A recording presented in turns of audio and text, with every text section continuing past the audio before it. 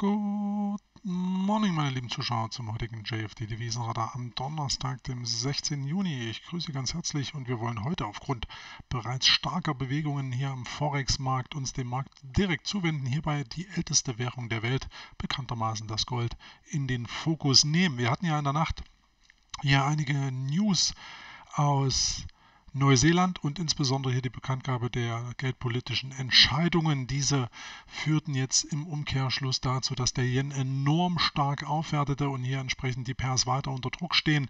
Die äh, oder das Szenario einer weiteren Yen-Schwäche wurde ja unlängst auch schon thematisiert. Es ist davon auszugehen, dass hier die äh, Yen-Stärke vielmehr, dass die Yen-Stärke sich hier weiter fortsetzt und alle anderen Paare unter Druck bringt. US-Dollar, Yen oder auch hier insbesondere Australdollar und British Pound hier ganz, ganz heftig unterwegs. Also am Forex-Markt 2% Abgaben sind hier schon eine Hausnummer, die man nicht oft vorfindet. Hier bei den australischen Pairs kommt noch dazu, dass wir hier, wie gesagt, in der Nacht auch einiges aus Australien hatten und das gab noch zusätzlichen Druck obendrauf. Deswegen der Australdollar gegenüber dem japanischen Yen heute hier mit bereits schon über 2,5% Abschlag wirklich der Flop des Tages unter diesen Top 15. Aber schauen wir hier nach Norden. Gold, da wollen wir jetzt drauf schauen. 1308 die Feinunze in US-Dollar gerechnet und das zeigen wir hier mal sehr schön am Wochenchart, was hier los ist. Das ist bereits die dritte Woche sehr, sehr steil, sehr, sehr dominant, die wir hier an positive Performance an den Tag legen oder welche hier eine positive Performance an den Tag legt.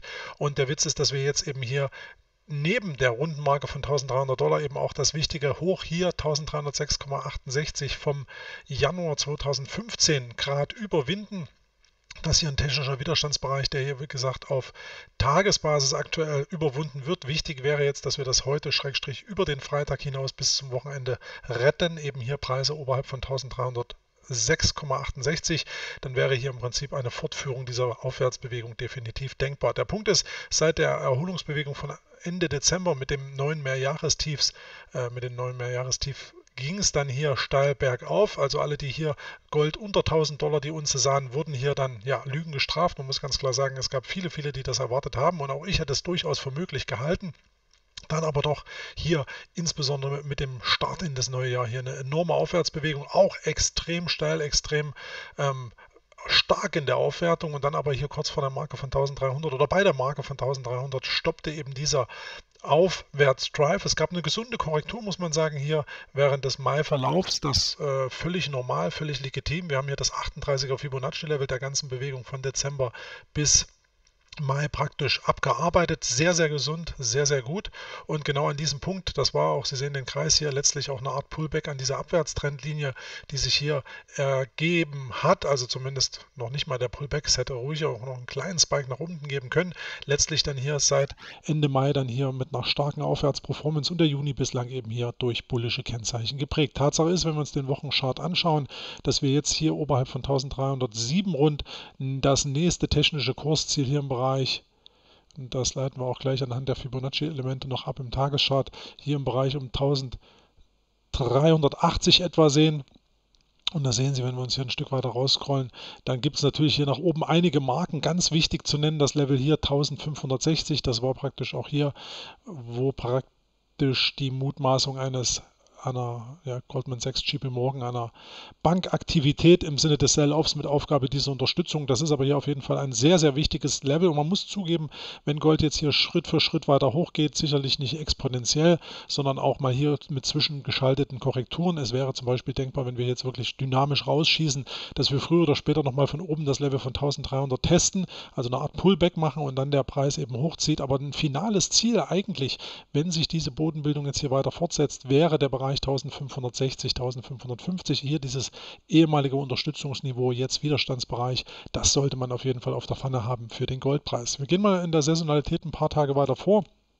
Wir haben kurzfristig hier eine Schwäche, wie Sie gerade gesehen haben. Das muss natürlich nicht heißen, dass es passiert, aber technisch der Goldpreis ähm, ab August, ab Mitte August sowieso sehr, sehr bullisch. Da sehen wir auch jetzt gerade kommt der Chart rein. Ähm, das heißt, wir haben hier tendenziell auch während der kommenden Monate starken Rückenwind. Hier im Juli kann es nochmal einen Dip nach unten geben und auch jetzt der Juni nicht wirklich bullisch, aber mit dem Verlauf im Juli und dann insbesondere Einklang August sieht es hier sehr, sehr bullisch aus und das passt natürlich ins Bild, dass der Goldpreis hier mit saisonalen Rückenwind hier durchaus weiter nach oben aufdrehen kann.